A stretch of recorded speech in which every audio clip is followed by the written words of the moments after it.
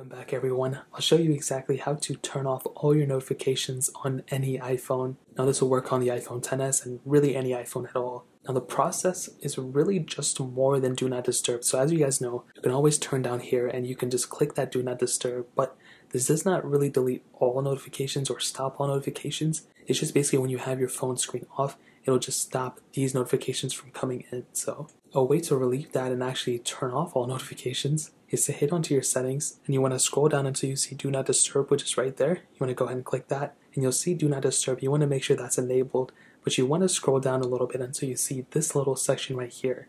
As you can see it says always. You want to go ahead and tap always and make sure that little section is enabled and then from there this will actually make it so a ton of those notifications will go away. So you won't get little drop downs, you won't get like random stuff like that.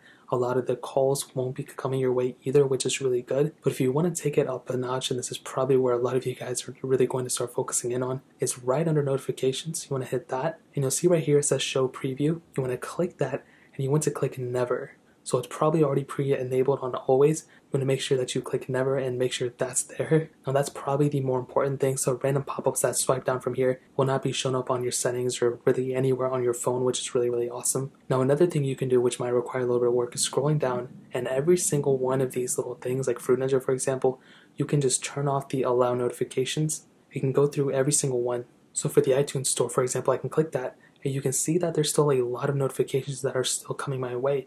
So you can actually go and just disable it by clicking this and then that notification will go away, which is really cool. And you can do that for every single one of these apps. You can do that for messages.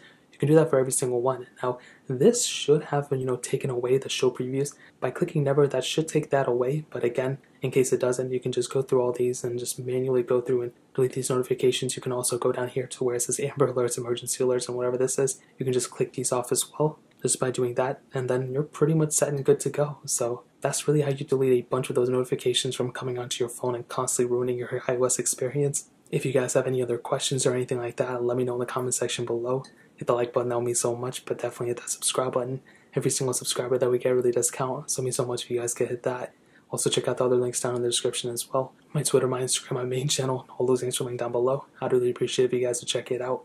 More importantly than everything else, I love every single one of you guys. Hopefully I'll catch you guys in the next video. Peace out till then.